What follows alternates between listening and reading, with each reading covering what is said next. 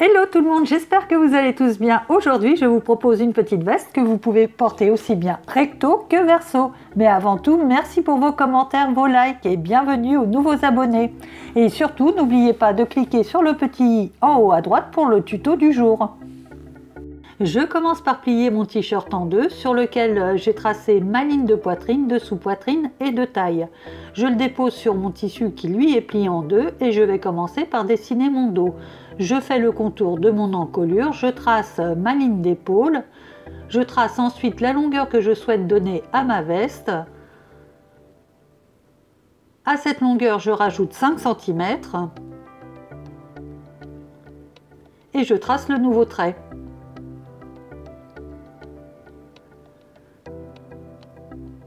Maintenant, je vais tracer ma ligne de côté. Je rajoute 3 cm pour les anses.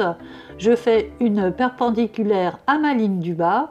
Je trace le bas de mon emmanchure. Et je redessine la courbe de mon emmanchure.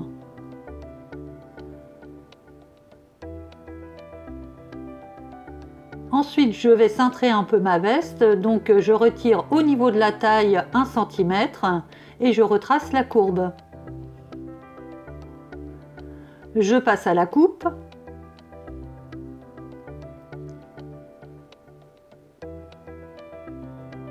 On accélère un peu tout ça. Je cranque le bas. Et voilà, j'ai mon dos de coupé. Sur mon imprimé plié en deux, je dépose mon dos. Maintenant, je vais tracer le devant. Je rajoute 2 cm au milieu devant. Je trace la ligne et je trace le contour de mon dos.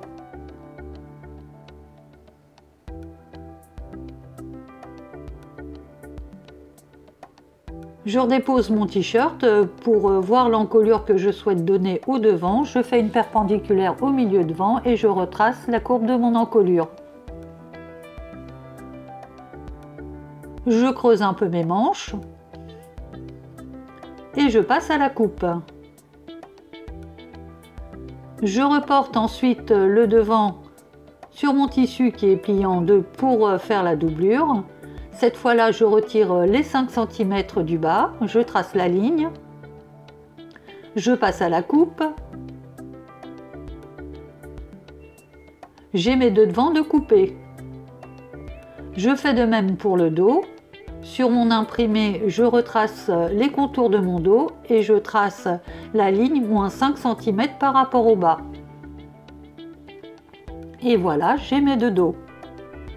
Pour l'emmanchure, euh, je prends celle de mon t-shirt, mais comme j'ai rajouté 2 cm, je vérifie la longueur du haut de ma manche. Et pour cela, je vais reprendre l'emmanchure d'eau. Je retire 1 cm pour les coutures et je le dépose contre l'emmanchure de ma manche et je regarde si la longueur est la bonne je rajoute les centimètres nécessaires. Je pointe, je souhaite avoir des manches 3 quarts, donc je fais une longueur de manche de 50 cm pour une largeur de 22.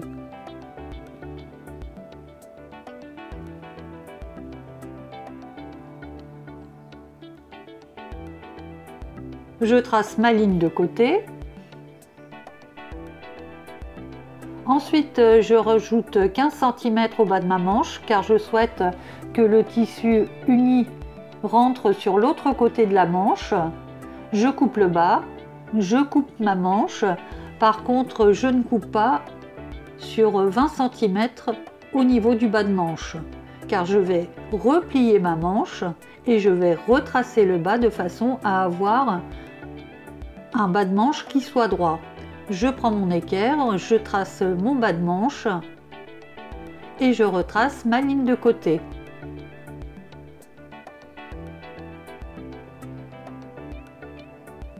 Je coupe le tout. Je vais reproduire maintenant ma manche sur mon tissu imprimé.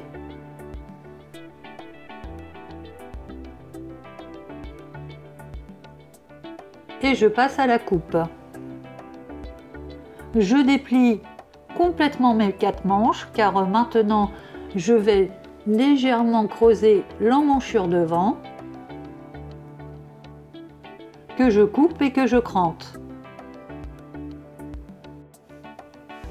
J'assemble maintenant mes manches, donc la doublure et la manche extérieure, envers contre envers car je souhaite poser un liseré que je vais épingler au niveau de la couture. Je le pique et ensuite je réépingle à nouveau pour surpiquer.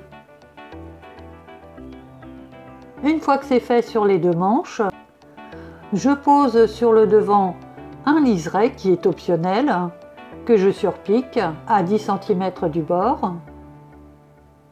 Une fois que mes épaules sont épinglées, je passe à la piqûre.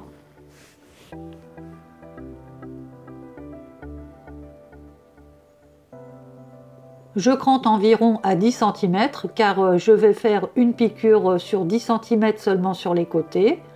Ensuite, j'assemble ma veste par le bas et je laisse ouvert le bas au niveau du dos sur environ 30 cm. Une fois que le bas est piqué, maintenant je vais assembler mes devants ainsi que mon encolure. Je prends les devants donc endroit contre endroit, j'épingle le tout et à ce sujet je vous ai fait un petit tuto pour avoir des devants qui tiennent parfaitement bien. N'hésitez pas à cliquer sur le petit i qui apparaît en haut à droite. Je continue à épingler mes devants, j'épingle mes épaules au niveau de l'encolure avant d'épingler le reste de l'encolure. Je pique ensuite à 1 cm du bord, je retourne ma veste, je fais attention à ce que les liserés tombent bien face à face et devinez, je réépingle à nouveau mon devant et mon encolure et je pique, plutôt je surpique à quelques millimètres du bord.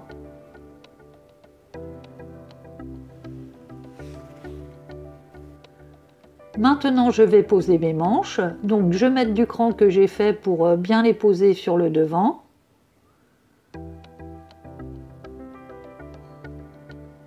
J'épingle le tout. On aime les épingles, n'est-ce pas? J'épingle maintenant la partie qui se trouve au bout de ma manche, c'est-à-dire l'autre emmanchure euh, sur la doublure endroit contre endroit. Donc je vais me retrouver avec mes deux emmanchures d'épinglés, une fois sur la doublure et une fois sur l'endroit.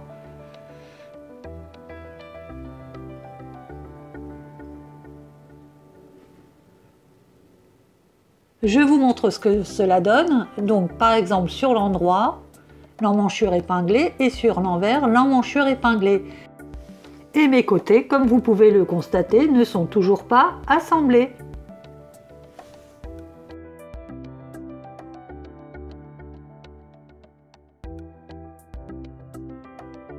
Je pique le tout.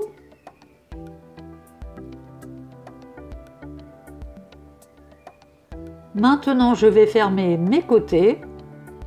Je commence par la couture de l'emmanchure, ensuite là où se trouve le liseré, j'épingle en premier pour avoir le liseré qui tombe bien face à face.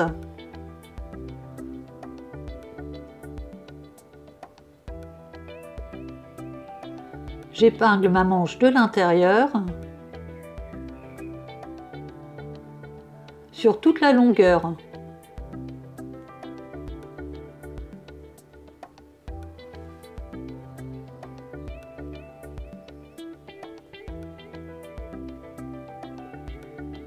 Ensuite, pour la piquer, je retourne complètement mon travail. Et là, je peux piquer sur toute la longueur, donc sur le côté. Je laisse un espace de 10 cm. Et une fois que c'est piqué,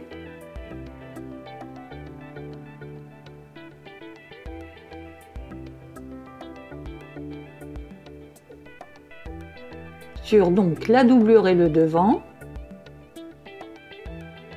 Et avec un espace de 10 cm laissé au niveau de la manche, je retourne ma veste. Je la déplie, je sors les manches.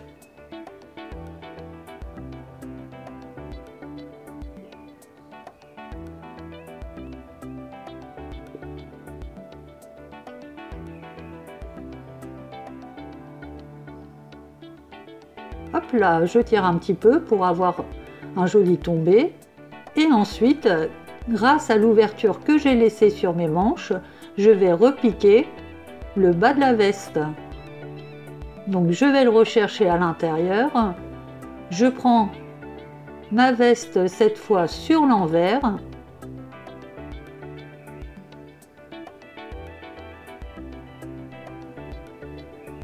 J'épingle le bas de l'ouverture et je pique sur toute la longueur.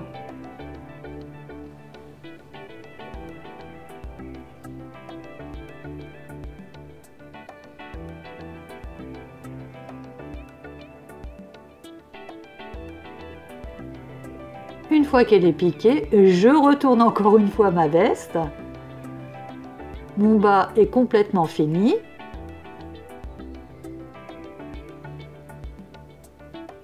Je ferme l'ouverture que j'avais laissée précédemment. J'épingle bord à bord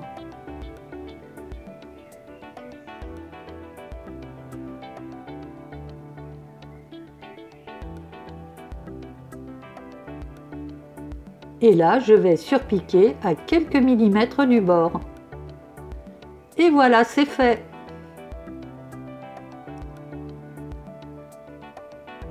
J'étire au niveau du dos ma veste. Et j'ai ma nouvelle petite veste. Si vous avez aimé ce tuto, n'hésitez pas à liker, à partager.